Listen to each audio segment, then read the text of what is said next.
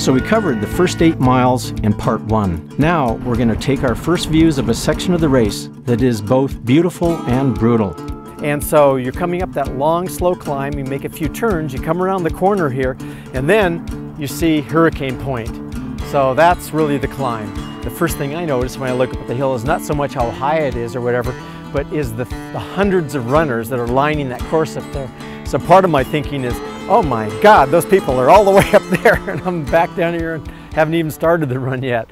To make matters worse, we need to drop to one of the lowest points in the course before we begin the climb. Now this is just a U-turn right here. So the marathon comes down the hill here. You have a terrific crowd from the uh, relay runners, loops around this turn, and then back up here we have the taiko drummers. And they're sitting there just beating on those drums. It just echoes inside this sort of canyon here. And you hear them going all the way up around the corner. So uh, mile number 10 is just after we get around the turn. And mile 12 is going to be at the very top at Hurricane Point. So we've got two miles to climb 700 feet. One of the things that runners will enjoy is that every couple hundred yards, there'll be a, a sign on the road which will have another saying. So a lot of people have different styles. Some people will just aggressively go in and hit the mountain. Other people will uh, do walk runs. That's a good technique to use, but certainly shorten your stride down.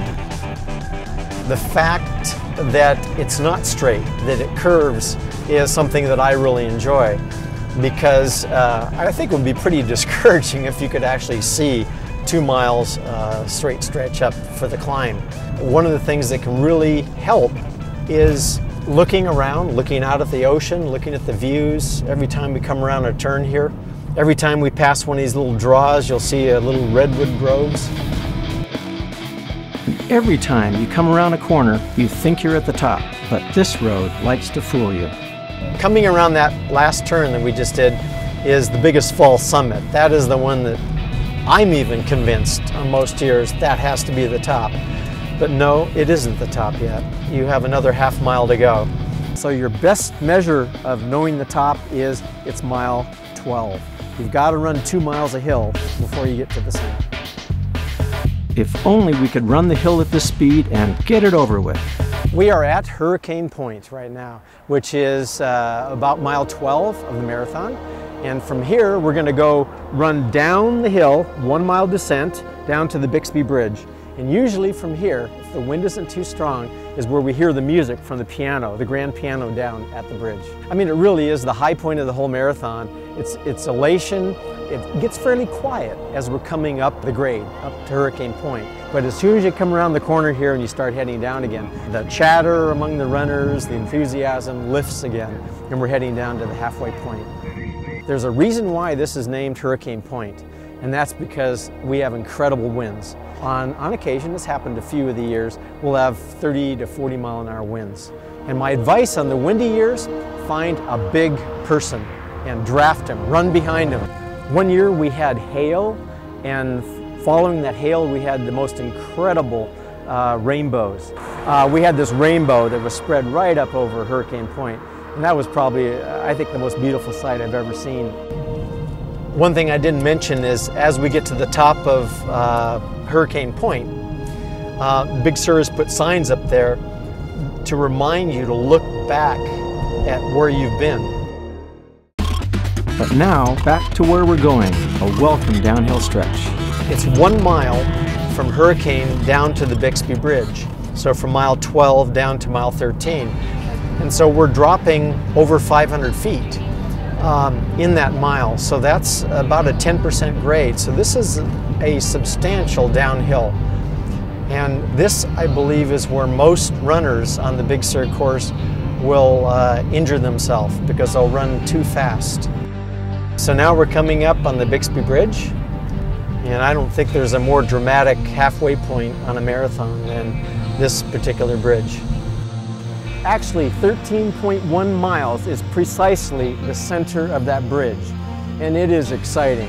It is such a thrill because what's happened here is we've climbed to the highest point of the course, which is up above here, Hurricane Point, 700 feet, and we've then done this nice descent all the way down here to the Bixby Bridge.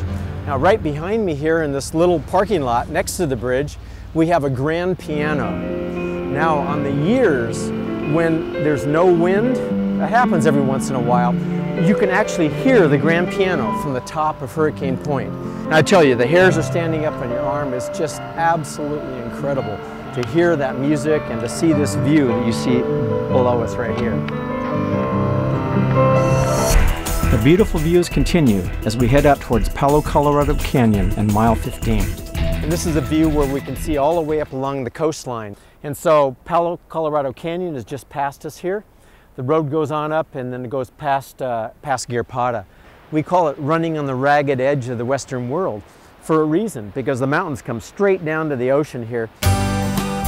My number one piece of advice in running this marathon, bring a camera. The point of bringing a camera is that if you've got one with you, you're going to be looking at these vistas with a little different eye. And I think it's sort of a constant reminder to enjoy the course, to have a good time running this marathon, that you're not just head down running 26 miles. You're out here for an experience. Moving along through Palo Colorado Canyon, Rocky Point, and Garrapata, we've got plenty of rolling elevation changes. Hopefully, the views will keep your mind off the pain. Well, this cove is one of the excellent examples of what we see on the coast here. You look at the cove, you see the water, the waves, the color of the water, it's just spectacular. So one day a year, we can hear the ocean, we can hear the sea lions bark at the beach. It's just a fantastic experience. Check out part three of the Big Sur Marathon Tour, windward towards the wall and through the highlands to home.